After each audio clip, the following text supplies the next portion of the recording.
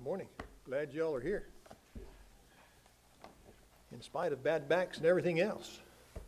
This morning's lesson is entitled Heavenly Investments. The text for it comes from Matthew chapter 6, verse 19. Verse 19 beginning. It says, Lay not up for your treasures, lay not up for yourselves treasures upon earth where moth and rust doth corrupt and where thieves break through and steal but lay up for yourselves treasures in heaven where neither moth nor rust doth corrupt, and where thieves do not break through nor steal. For where your treasure is, there will your heart be also. The light of the body is the eye. If therefore thine eye be single, thy whole body shall be full of light. But if thine eye be evil, thy whole body shall be full of darkness. If therefore the light that is in thee be darkness, how great is that darkness?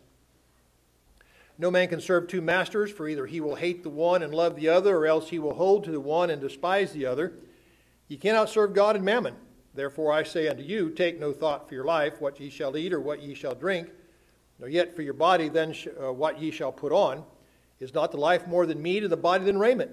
Behold the fowls of the air, for they sow not, neither do they reap, nor gather into barns, yet your heavenly Father feedeth them. Are ye not much better than they? Which of you, by taking, uh, uh, by taking thought, can add one cubit unto his stature?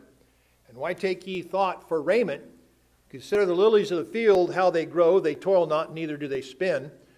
And yet I say unto you that even Solomon in all his glory was not arrayed like one of these. Wherefore, if God so clothe the grass of the field, which today is and tomorrow is cast in the oven, shall he not much more clothe you, O ye of little faith? Therefore, take no thought, saying, What shall we eat, or what shall we drink, or wherewithal shall we be clothed? For after all these things do the Gentiles seek. For your heavenly Father knoweth that ye have need of all these things. But seek ye first the kingdom of God and his righteousness, and all those things shall be these things shall be added unto you.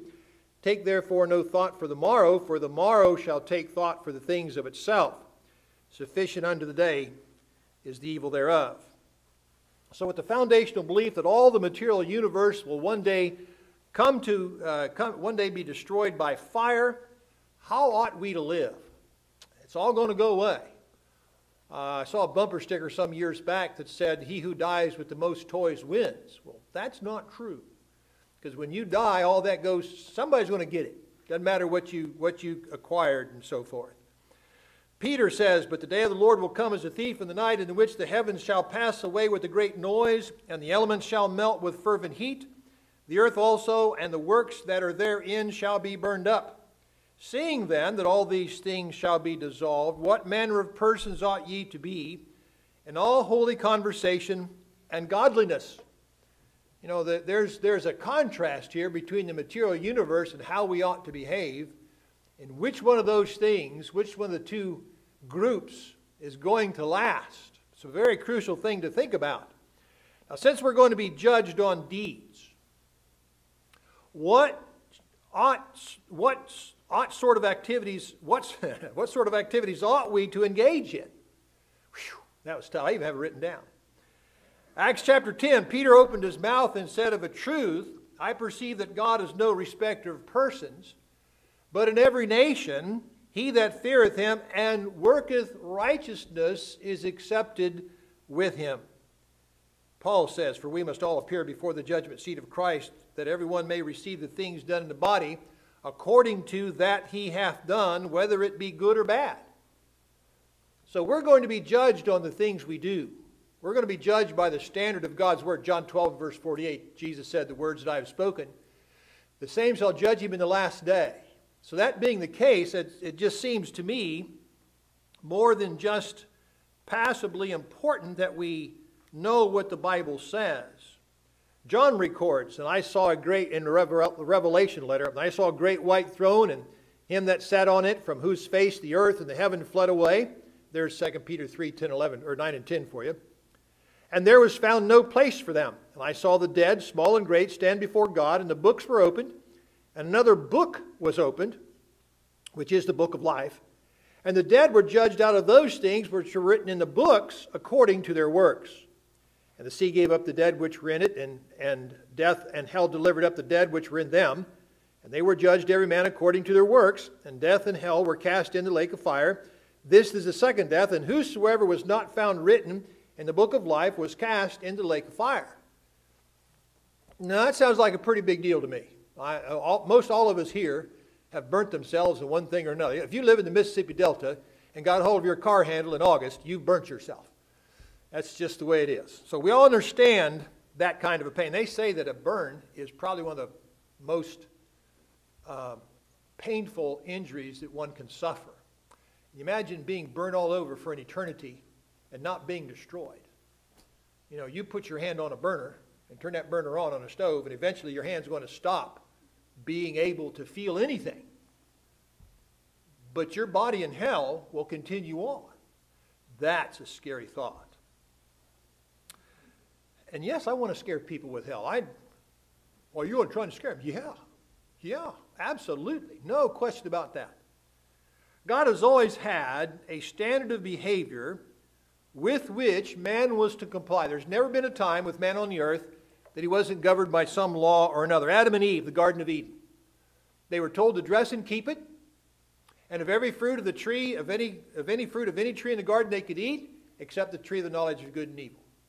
As far as other, other than being fruitful and replenishing the earth, and not eating of the tree of the garden of the knowledge of good and evil, and dressing and keeping the garden, that seems to be what we have recorded, the limit of what they were responsible for doing and, and avoiding.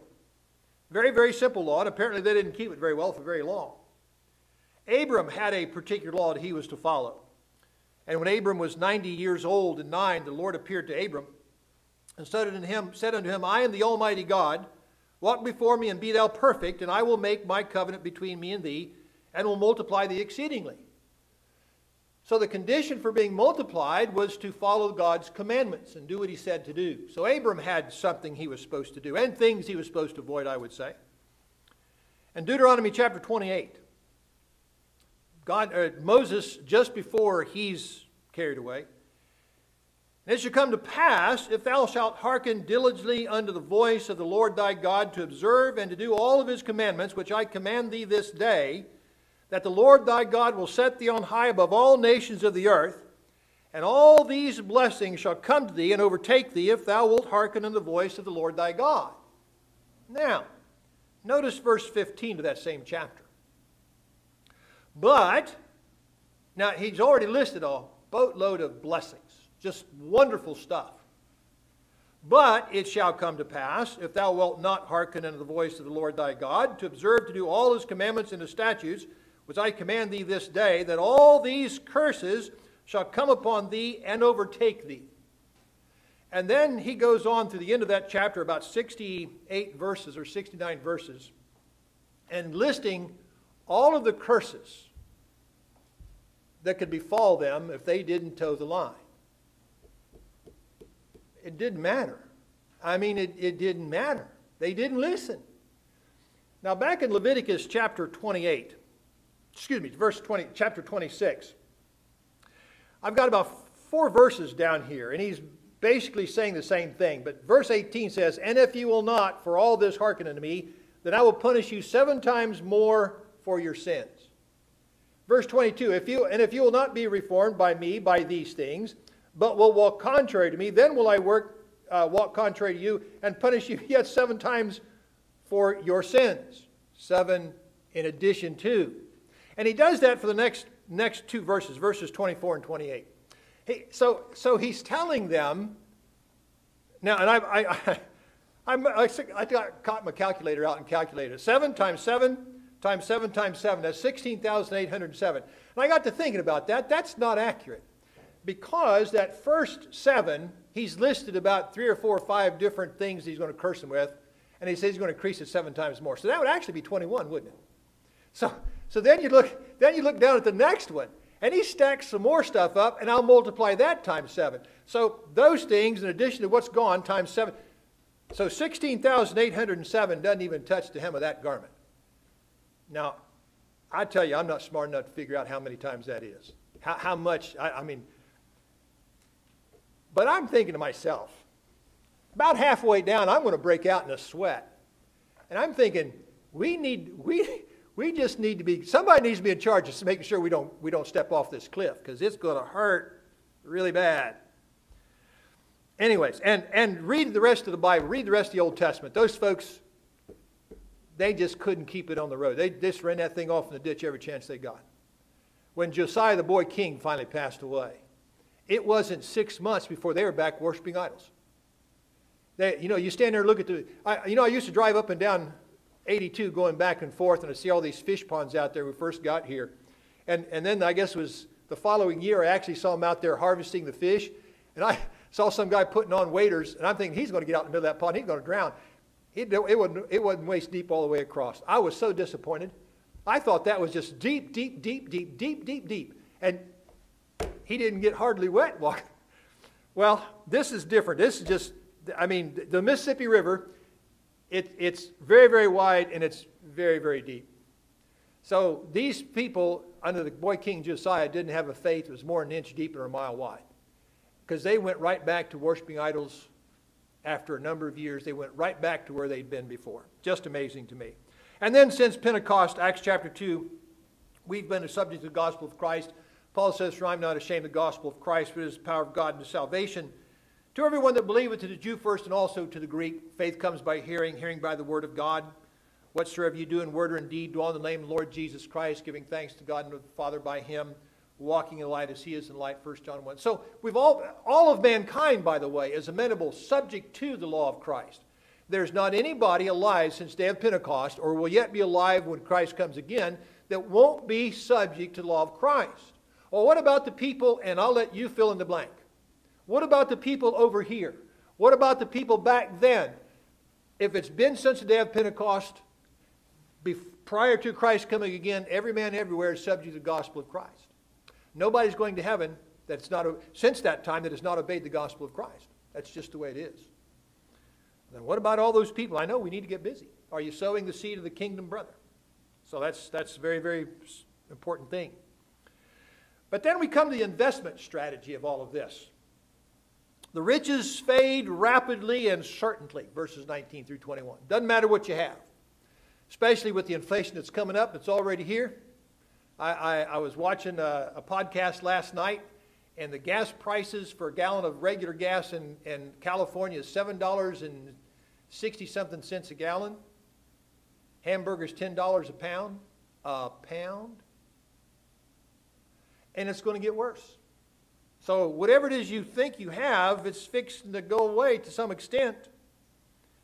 Again, 2 Peter chapter 3, verse verse 9, uh, uh, uh, verse 9, he says, The Lord is not slack concerning his promise, as some men count slackness, but is long suffering to us. We're not willing that any should perish, but that all should come to repentance. So, so God's will is that all come to repentance, and not all men will. Verse 14, he says, Wherefore, beloved, seeing that ye look for such things, be diligent, that ye may be found of him in peace, without spot and blameless. So there's going to come a time, and again, 2 Corinthians 5.10, we stand before the judgment seat of Christ, to receive the things done to body, whether good or bad, whether good or evil. So everybody is amenable. Everybody is subject. We all have a responsibility to behave as God expects us to behave. And we're held responsible. Well, I didn't know is not going to cut it on the day of judgment. You know, the thing is, is each of us, and the, the argument that Paul makes in Romans chapter 10 is that even the Gentiles that don't, didn't have the law of Moses still had a law of the conscience. They still knew that it was if somebody lied to them, they'd be upset. Now, even a liar doesn't like somebody lying to him. Even a thief doesn't like somebody stealing from him. So everybody has a conscience that they violate.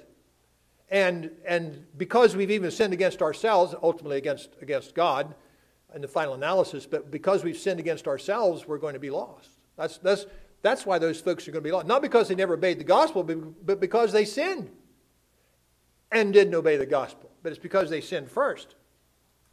Our values focus on, on eternal things. At least they ought to. Now, we all need, we all need, you can't hardly get around without a car. If you don't have a car, then there's a, there's a fellow that rides around town on his bicycle. You see him all the way up and down, all the, I mean, he's, he's slowly, slowly, it takes him a while to get there, but he gets there. I've seen him over at Walmart and all up and down and everything, and, and, and don't get in his way. just, just, just, he's looking at the ground. He's not going to, don't get in his way. Just get out of the way, slow down, stop, let him go past. You'll be all right. But, um, and, and if you don't have a car, you're going to call somebody So I need, I need somebody. Would you take me down to wherever? And of course, you know, folks do that for you, at least to some extent.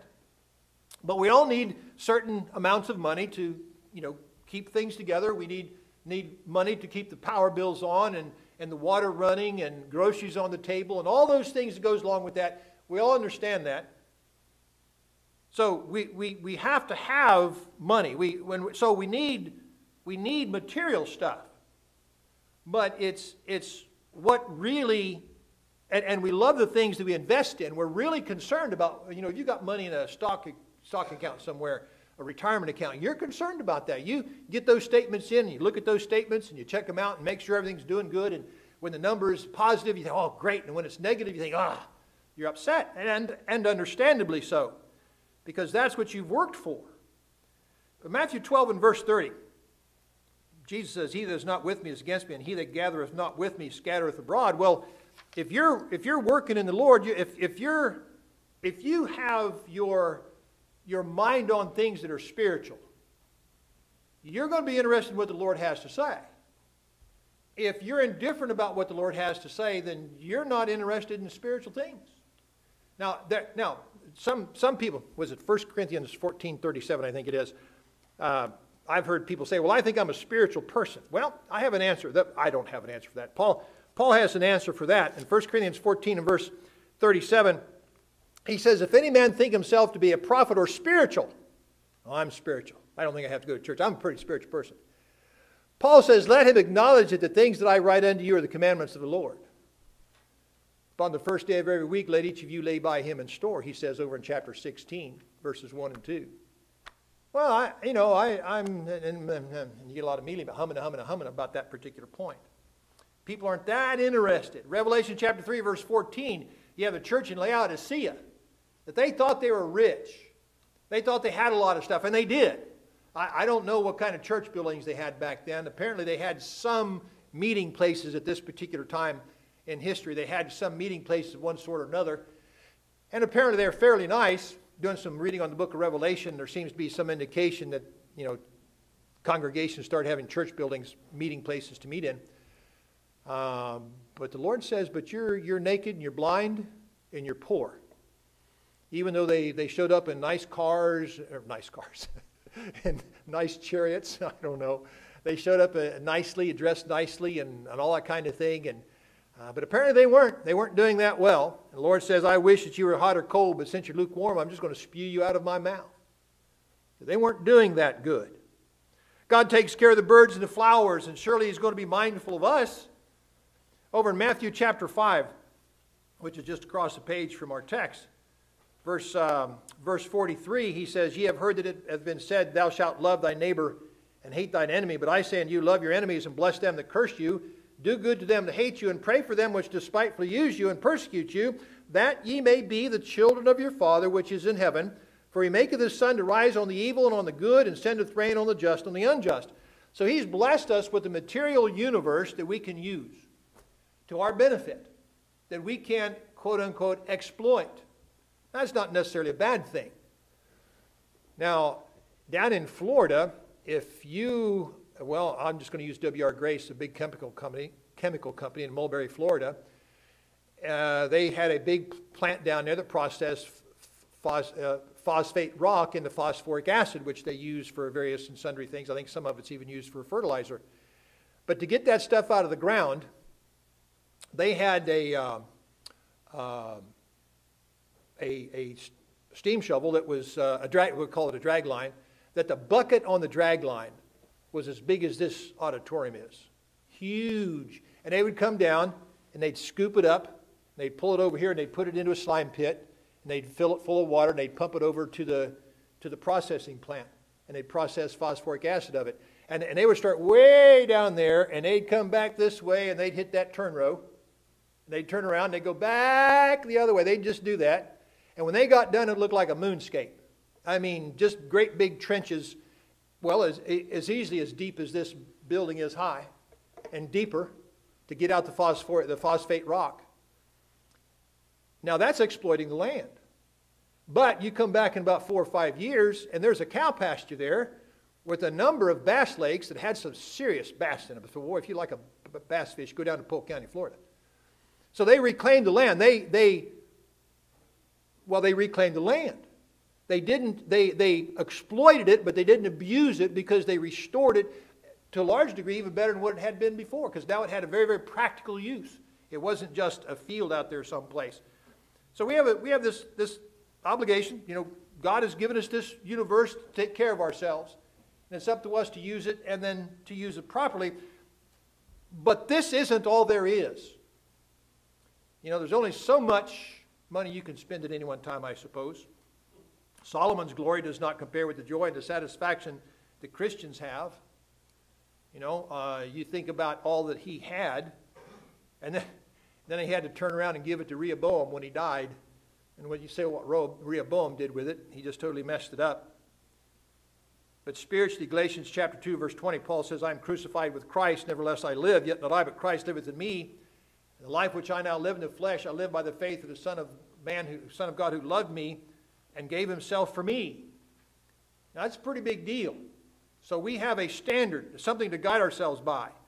Ephesians 4 and verse 24, and that you put on the new man, which after God has created in righteousness and true holiness. Colossians 3, and have put on the new man, which is renewed in, in knowledge after the image of him that created him. So there's a spiritual side to us that, that, that we need to be uh, refurbishing, if you will by following the gospel and doing what it says to do, becoming that, that new man. Romans chapter 6, uh, dying, I, am crucified, uh, no, Romans 6, 1 and 2, uh, shall we continue in sin that grace may abound? God forbid. How shall we that live any longer therein? How shall we that are dead to sin live any longer therein? For as many as us have been baptized into Christ have put on Christ. And like as Christ was raised from the dead by the glory of the Father, even so we also should rise to walk in newness of life. So we die to self. That's the self, that's the crucifixion part of that thing. We die to self. That's repentance. And I put on Christ when I'm buried with him by baptism into his death. I, ha- I bear the old man of sin and I rise to walk in newness of life. And you can go on down in, in Romans chapter 6 there, down 7, 8, 9, and 10, and read how we've crucified the old man of sin and put him to death. And as a consequence, we need to be living differently. Again, Colossians 3 and verse 10 to put on the new man, what's renewed. Um, materially, J- um, James chapter 4 and, and verse 3. Um, James says, Ye ask and receive not because ye ask amiss that ye may consume it upon your lusts. You know, again, we need certain ble- we need certain material blessings. If we don't have them, the lights don't come on, the, the heater doesn't come on, the air conditioner doesn't come on. So we need material blessings. But that's not, that's not the end all and be all of our life. 1 John 5 14, and this is the confidence that we have in him, that if we ask anything according to his will, he heareth us, according to his will. Now, who is we? We as faithful Christians. We are the, the we is the ones that are seeking Christ and his will. And when we ask according to his will, we ask th- for things that are in harmony with His will. He's going to bless us with them. Now, He may bless us with a can of beans. But when you're hungry, I'm going to tell you, peanut butter and crackers works out pretty good. Now, if I'm sitting there eating the last of my peanut butter and crackers, and Charles comes along and says, Man, I'm hungry. Well, you're going to get some peanut butter and crackers. Well, I don't really like peanut butter and crackers, and you're, you're going to be hungrier still, because that's what I got. If you want there's, there's the knife, and there's the jar, and there's the crackers. So we share what we have, and that's what we do. And as we do, as we go along, I, and I tell you what, just kind of my own opinion on this thing, if God finds a heart that is generous, I think He's going to make sure that that heart has a whole lot more to be generous with. Again, just an observation of my own, and you think about it as you will. But seeking God first is not just the best policy. Have you ever, you've ever heard, well, honesty is the best policy? No, that's not true. It's the only policy. Because anything less than honesty is dishonesty. So honesty is not just the best, it's the only policy. I don't understand what people mean by it, but need to be more accurate in it. But seeking God first is, uh, is not just the best policy, it is the only rational one. In Acts chapter 11, in verse 23, who, when he came, and had seen the grace of God, was glad and exhorted them all that with purpose of heart they would cleave unto the Lord. It's the idea of, of sticking with Him through thick and thin, not, not, not falling by the wayside because things get tough. You see that in marriages today. You know, when, when, when, when hard times come, couples split up. I, I've heard of couples when a child dies that they just they just break up at the time you need your spouse the most. I, just man, it's well, I wish. But anyways, whole nother operation. Um, 1 John 1 and verse 9, if we confess our sins, he is faithful and just to forgive us our sins and to cleanse us from all unrighteousness. But as we discussed in Bible class this morning, having that prayer answered, being able to ask that prayer and having it answered is the fact that we're faithful in the first place. That we're children of God and faithful children of God. Now, an unfaithful child of God can see the light and come back to it and have his sins forgiven, but it's based upon true repentance and seeking what God wants us to do. And finally, we should never worry about tomorrow. Now, I, I, I wished I had the answer to this one. this, is, this is a toughie. Um, I've told you the story. I was going to school of preaching. A bunch of us, uh, we've been studying about the providential hand of God uh, in class. It'd come up in discussion. We're having our coffee break, and uh, Charlie Davis, good man, good man, love that man. He, anyways, he's sitting here. He's got his, he's, he's drinking tea and he's got his cup of hot water and he's dumping his tea bag in there. And he said, You know, I don't, I don't believe in insurance. I'm letting the Lord take care of me. I said, Brother, Brother Davis, I said, I said uh, How do you know that having insurance isn't God's providential care? I never thought about that. Good thing you showed up today, then, isn't it? but you know, we never know. We just, we just never know. Uh, we have to think about these things. But worrying about to our planning insurance, you plan for tomorrow. You have health insurance. You have, you have car insurance. You have fire insurance on your house. Um, uh, you, you have investments for retirement. If you have just a 401k and you decide to have something else, you know, bless your heart. Nothing wrong with that. Uh, you know, have, have resources. That's, that's one reason why they're there. Paul says uh, in Acts 14, 17, nevertheless, he left not himself without witness and then he did good and gave us rain from heaven and fruitful seasons, filling our hearts with uh, food and gladness. Ephesians 4, let him that stole steal no more, but rather let him labor, working with his hands that which is honest, that, that thing which is good, that he may have to give to him that, that needeth. And James 1.17, every good gift and every perfect gift is from above and cometh down from the Father of lights, with whom is no variableness, neither shadow of turning. We need to appreciate the blessings that God has given us. You know, I, I, I have to think that, you know, even though Jerry's passed away, I man, I had 46 years with that woman. Bless her, bless her heart, you know. But I, I, I had a good life. I've got a good life. I have, no, I have. If I tell people say, "How you doing?" I said, if I said anything, I'd just be complaining. I'm doing well. I'm sad. I'm doing well. But you know, uh, we've been truly blessed. I have, I have nothing to complain about. So, you know, all of these things and the fact that I'll see her again, that's, that's an investment. You know, living the faithful Christian life. So you'll, see, so you'll see your faithful brothers and sisters in Christ and your faithful family members again.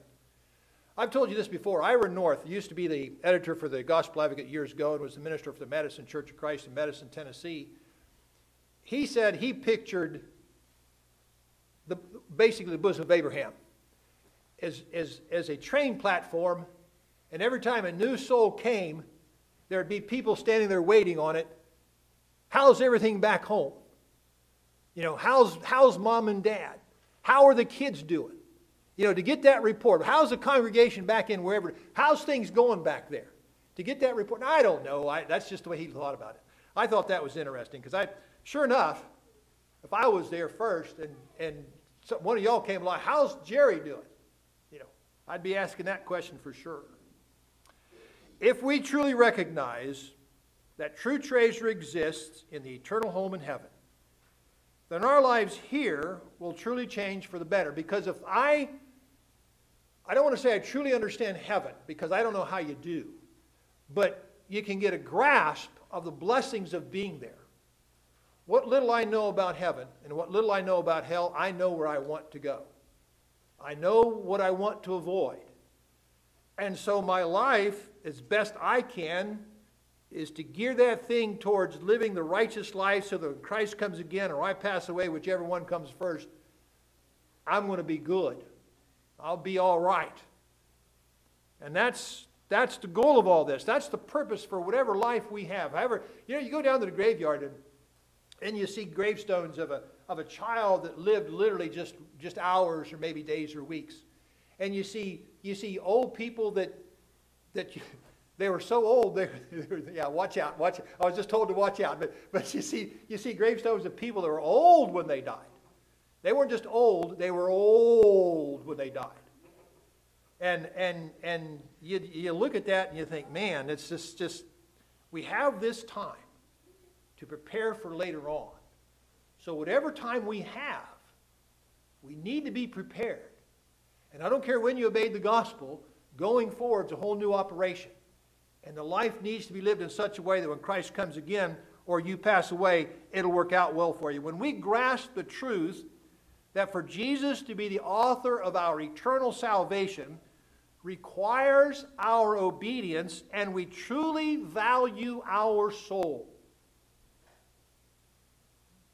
how valuable are you to yourself?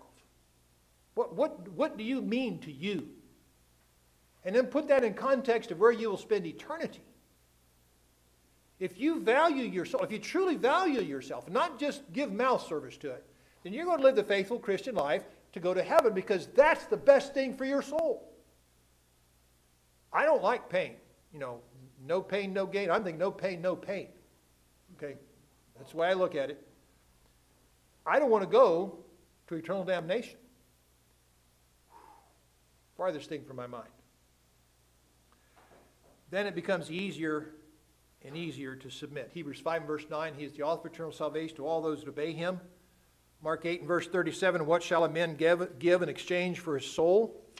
Because every moment of every day that you live apart from the Lord, you are taking this material universe and all the works that are therein that are going to be burned up on the day of judgment. That's what you're giving your soul for. And on the day of judgment, all this will be gone. You take Bill Gates and all the rest of that billionaire crowd and you stack up all their stuff in the middle aisle. On the day of judgment, poof, it's going to be gone. And then what? And Bill Gates has said he doesn't have time for God, doesn't have time for religion.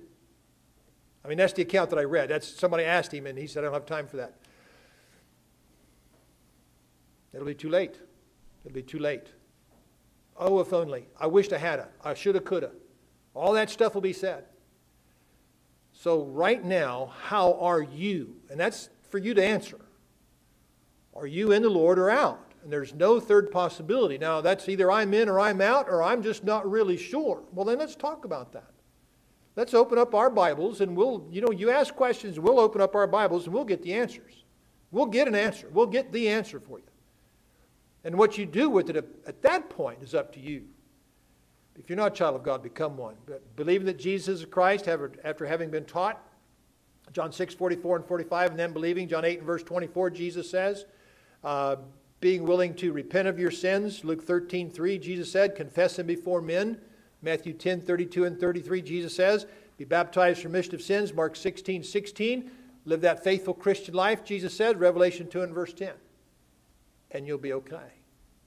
If you've done those things, but you've been unfaithful, come back. If you need our prayers, let us pray for you. Again, questions, let's sit down and study them, and we'll both come away better people for it. But if you need to respond to the invitation of Christ, we invite you to come while together we stand.